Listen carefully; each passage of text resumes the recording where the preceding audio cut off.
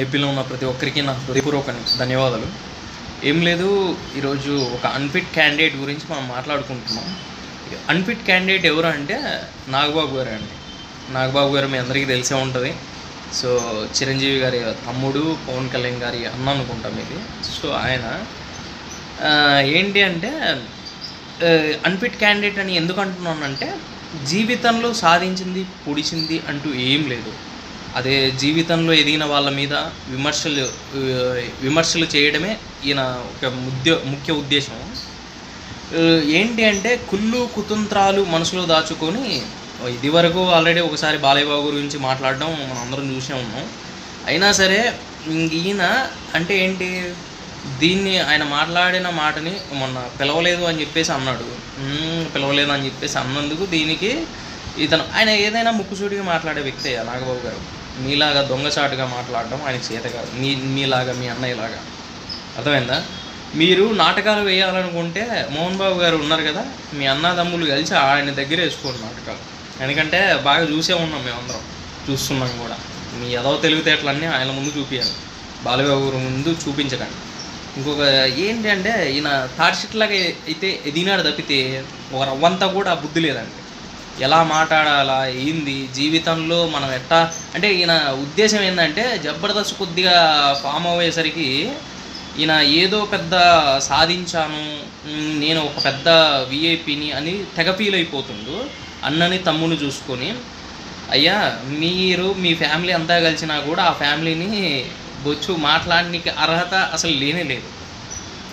ఆయన వాళ్ళ నాన్నగారు ఏంది ఈయన ఏంది లేకుంటే వాళ్ళ బావగారు ఏంది ఆయన ఆయనకి మీరు మాటలు నేర్పించేటోళ్ళ. ఆయన వాళ్ళ నాన్నగారు ఎంత పద్ధతిగా పెంచారు తెలుసా? ఈ రోజుకి ఆయన బాలేబాబు గారు ఏ రోజైనా కానీ నోరు తెరిస్తే దేవుళ్ళ లాంటి నాన్నని లేకుంటే మహాభారతం రామాయణంలో ఎలాంటి ఇతిహాసాలు కానీ లేకుంటే అభిమానుల గురించి కానీ ఇవి తప్పితే ఆయనకు ఇంకోటి తెలియదు జీవితంలో. అలాంటి వ్యక్తిని మీరు విమర్శిస్తుంటారు తెలుసుకోండి. ప్రతిసారి నీలాంటోడు వాగినందుకు మేము పెద్ద పట్టించుకోని అవసరం లేదు. ఎందుకంటే జీవితంలో అనిపెట్టాడు సో నీ గురించి పట్టించుకోని అవసరం లేదు. కానీ కొద్దిగా బాధ ఉంటుంది కదా నీలాంటి కుక్కలు కూడా బాలేబాబు గారి గురించి మాట్లాడుతున్నాయంటే. సో ఇది అందరూ తెలుసుకోవాలా? ముఖ్యంగా నాగబాబు గారు మీరు ఒళ్ళు దగ్గర పెట్టుకొని మాట్లాడితే మంచిది. ఒక రోజు ఉన్నట్లు ఇంకో రోజు ఉండదు. ఇది వరకే మాట్లాడినారు ఇప్పుడు మాట్లాడుతున్నారు. బాలేబాబు గారికి తిక్క దుబ్బింది అనుకో. మీ తమ్ముడు కంటే పెద్ద తిక్కలోడు బాలేబాబు గారు. గుర్తుపెట్టుకోండి. గన్ను తీసుకొచ్చి వేసి పడదొబ్బుతారు దెబ్బకు తిక్క కుదురుద్ది. ఆ గుర్తుపెట్టుకోండి. ఓకేనా? చరిత్ర చూసుకోండి బాలేబాబు గారి గురించి. కొద్దిగా మాట్లాడే ముందు నోరు అదుపులో పెట్టుకొని మీరు మాట్లాడాలి. బాలేబాబు గారు అంటే ఏంటో అందరికీ తెలుసు జనాలకి. నువ్వేదో పెద్ద ప్రెస్ మీట్కి వచ్చి అదన్నాడు ఇదన్నాడు అని చెప్తే నమ్మడానికి ఎవరు ఎవ్వరు లేరు. ఓకేనా? సో అది తెలుసుకో. ఇంకేంది? సారీ చెప్పాలా? ఏ సారి చెప్తాం? ఈ బొచ్చులు ఈ పిల్ల ఇవన్నీ హాఫ్ నాలెడ్జ్ మాటలు ఎందుకు మాట్లాడతారా నువ్వు నాకు తెలవక అడుగుతున్నా.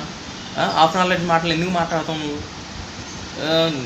నీకు సినీ ఫీల్డ్లో అంత విపరీతంగా నీకు ప్రేమ ఉంటే ఎన్నో అన్ని ఎన్నో జరీస్ వస్తున్నాయి. దాని గురించి మాట్లాడు. బాలయ్య బాబు గురించి మాట్లాడకు. అర్థమైందా? నీ నీ కుళ్ళు కుతంత్రాలు మీ అన్నదమ్ములు కుళ్ళు కుతంత్రాలు చేసి ఫ్యామిలీని దొక్కేయడం కానీ ఇంకోటి ఇంకోటి చేసినారనుకో దానివల్ల వాళ్ళకి అసలు మీ విమర్శలే ఆయనకి ఇంకా బలం నాకు తెలిసి. అర్థమైందా? సో ఆ ఫ్యామిలీని టచ్ చేయాలని అవసరం టచ్ చేయాలన్న థాట్ కూడా మీకు వేస్ట్ నన్ను అడిగితే. అర్థమైందా? అది పోయి మోహన్ బాబు గారిని లేకుంటే వెంకటేష్ గారు వీళ్ళందరూ వీళ్ళందరి దగ్గర డప్పు కొట్టుకోండి. లేకుంటే అలా ఎదవం చేయండి అంతే.